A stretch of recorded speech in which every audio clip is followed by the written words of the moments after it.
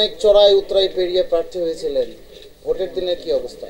এটাই তো আমার অপরাধ। অনেক চড়া দিকে আসছে তো বেশি বাইরে গেছে দেখে ওরা আমাকে ছাটাই করতেছে আমারে। আজকে আপনারা সবাই জানেন আমার পরিচয় দিই আমার নাম আশরাফুল হোসেন আলম, সবাই হিরো আলম নামে পরিচিত।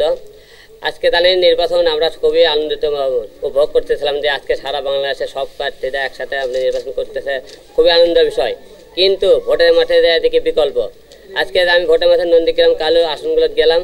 নন্দীগ্রাম গেলাম, ঢুকেলাম, প্রথমে একটা গেলাম, যা দেখতেছে ওখানে ভোট দিতে দিচ্ছে না কত সব ভোট হয়ে গেছে, তোমরা চলে দাও আমি কোনো এগারোটার আগে ভোট হয়ে গেল ঘটনা এত সকালে। কত ব্যালট ফুটে গেছে।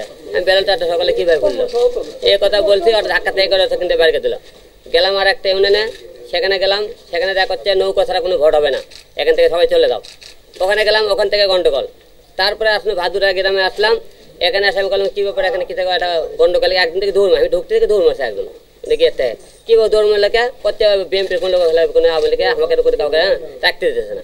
কেন আমার তাই এদিন ছিলাম কি তুই দৌড় মারলে লোকে প্রত্যেক আর তো মারধরকে বের করতেছে কেন মারধর? আমি কোনো এই মারধরকে গর্দন করে প্রত্যেক বেটি কথা করছ না এতে বাড়া।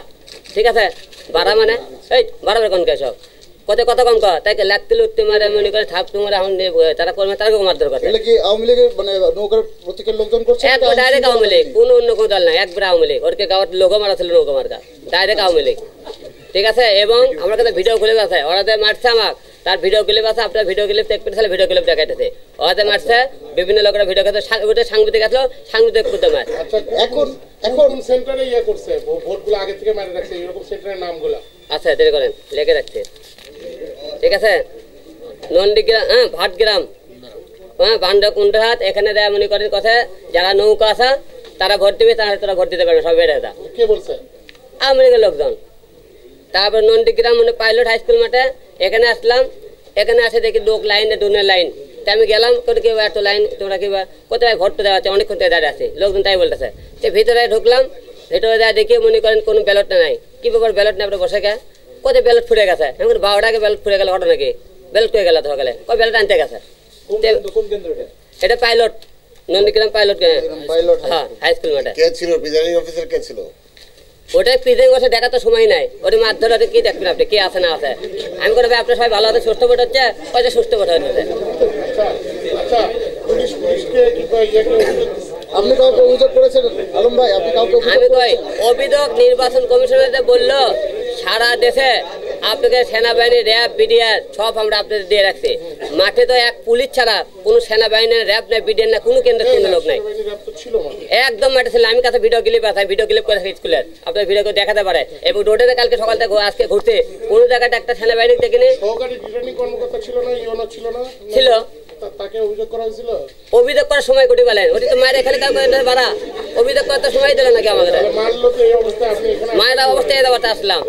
আচ্ছা আলোক ভাই এখন যে পরিস্থিতির কথা আপনি বললেন আপনি সাড়ে এগারোটার পর থেকেই বিভিন্ন গণমাধ্যমে টেলিফোনে মোবাইল আপনি এই অভিযোগগুলো করছিলেন এখন আনুষ্ঠানিকভাবে করলেন। একটা বিষয় হলো যে আপনি এখন কি চাচ্ছেন?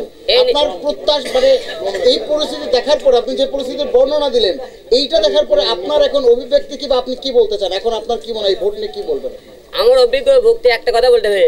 যে জায়গা স্বতন্ত্র প্রার্থীকে ওরা মনে করে মাঠে দেখে ভয় পায় এই নির্বাচন মনে করে সুস্থ হতে পারে না। ওরা আমার মতো স্বতন্ত্র প্রার্থী দেখে তো আওয়ামী লীগের লোকদের ভয় তো মনে করে পচে মরা উচিত। কি কারণে? আওয়ামী লীগ স্বতন্ত্র প্রার্থী দেখে ভয় পায়। হ্যাঁ। কে? প্রার্থী আছে ওখানে আপনি টানছেন? আওয়ামী লীগ উনি আওয়ামী লীগ মদত করে কিন্তু নোমার কথা নৌকা ছিল ওই আপনার আওয়ামী লীগ। আপনি ভোট বর্জন এখন এখন আপনি ভোট নিয়ে কি বলবেন এখন এই ভোট আমি মানি না। ভোট বর্জন করতে চাই। লিখিত কোনো অভিযোগ দেওয়া হয়েছে? লিখিত অভিযোগ ডাইরেক্ট আপনার কাছে বললাম এটা তো লিখিত অভিযোগ। তারপরে লিখিত অভিযোগ চাইছেন দিতেছি আমরা। আমি লিখিত অভিযোগ দিয়ে দেবো আপনাদেরকে। আমাদের কাছে না নির্বাচন কমিশন দিয়ে দেবো আপনি ওখানেও দিয়ে দেবো। কখন সেটা ভোট শেষ হওয়ার পর? এই মুহূর্তে আপনাকে দেওয়ার মতো এই মুহূর্তে দিয়ে দেবো এখনই।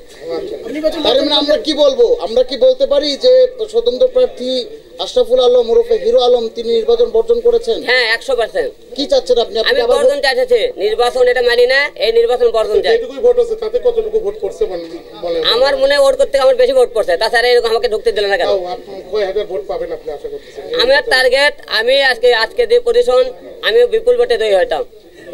এখন পর্যন্ত চাপ পড়ছে আপনার লোকজনটা দিতে পারছে সেটাতে কত? লোকজন তো ভোটই দিতে পারল না কটা দিলে আমি কেমন করে বলব? আপনি কি পুনরায় ভোট দাবি করছেন কিনা হ্যাঁ পুনরায় ভোট দাবি করতেছি এবং নির্বাচন কমিশনের যারা আছে এরকম বাতিল করার ঘোষণা করতেছে এরকম কথা চলবে নির্বাচন কমিশনে যারা আছে। এরা আছে এরকম বাতিল করা লাগবে আপনারা হাসাহাসি করেন না যেটা বলতেছে সেটা প্লিজ শোনেন প্রার্থীর বক্তব্য হচ্ছে এইরকমই উনি আমাদের বাইরের লোক না হ্যাঁ এটা হাসাহাসিটাকে অন্যভাবে নেওয়া যাবে থ্যাংক ইউ আলম ভাই এই হিরো আলম, গতকাল নির্বাচন কমিশন যদি নির্বাচন বাতিল না করে এবং নির্বাচনের ফলাফল যদি আপনার কথা মতোই ঠিক হয়, তাহলে হয়তো দেখা গেল আপনার জামানত বাজাপ্ত হলো। সেই জামানত বাজাপ্ত হওয়ার পরে ওই জামানত আপনি কি ওটা মেনে নেবেন? জামানত মেনে নেব ওরা মানে একটা মানে দিল্লি মেনে নেব? আবার একটু আপনারা জানেন এই নির্বাচনে আমি ঘোষণা দেওয়ার পর থেকে সারা বাংলাদেশে আমার পেছনে মনে ষড়যন্ত্র চলতেছে। নির্বাচন কমিশন পূর্ণ আমাকে বাতিল করল। তারপরে মনে করেন আপিল করলাম বাতিল করল। পরে হাইকোর্ট থেকে নিয়ে আসলাম। নিয়ে আসার পরেও ইসি আবার কয় ওর বলে হাইকোর্ট দেখাচ্ছে আমি বলে। আচ্ছা ভোট এই ভোট কম দেখায় যদি আপনার জামানত ভোট কম পড়ার কারণে আপনার জামানত বাজেয়াপ্ত হয় তাহলে আপনি রিট করবেন? অবশ্যই একটু ভোট দিতে পারেনি জামানত বাতিল করবে কেন?